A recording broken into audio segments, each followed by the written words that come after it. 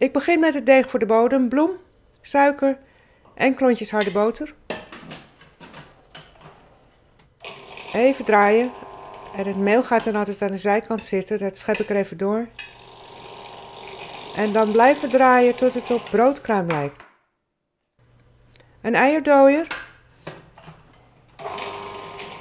En een lepeltje koud water. En dan wordt het vanzelf mooi deeg. Daar kneed ik even een mooie bal van en die gaat in de plastic folie. Een kwartiertje in de koelkast om op te stijven. Het bakblik uh, vet ik even in met een beetje boter. En dan ga ik het deeg uitrollen.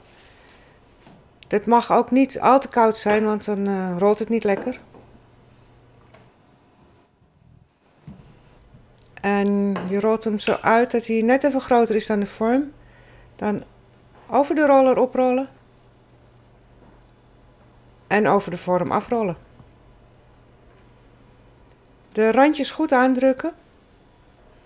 En even met een mesje mooi bijsnijden. Zachtjes inprikken met een vork. Niet helemaal door tot op de bodem. En dan gaat hij weer even in de koelkast, een kwartiertje. Nu bak ik hem eerst blind. Bakpapier erop en gedroogde bonen. En die houden het deeg mooi in vorm. En dan gaat hij een kwartiertje in de oven op 200 graden.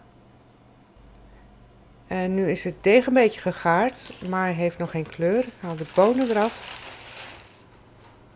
En nu gaat hij nog 12 minuten terug om een beetje kleur te krijgen en een beetje knapperig te worden. Die is klaar en die uh, moet even afkoelen. En ik ga de vulling maken. De citroenschillen raspen met een fijne rasp. Biologische citroenen. En uitpersen.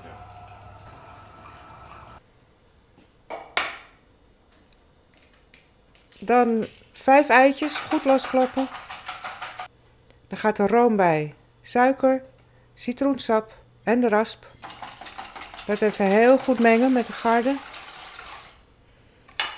En nu zet ik de vorm vast in de oven. Dan kan je niet morsen. Zorg dat hij recht staat en je giet langzaam de vulling erin. Nu gaat hij ongeveer 30 minuten op 170 graden.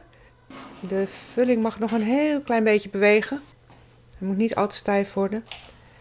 En je hebt een heerlijke tarto citron.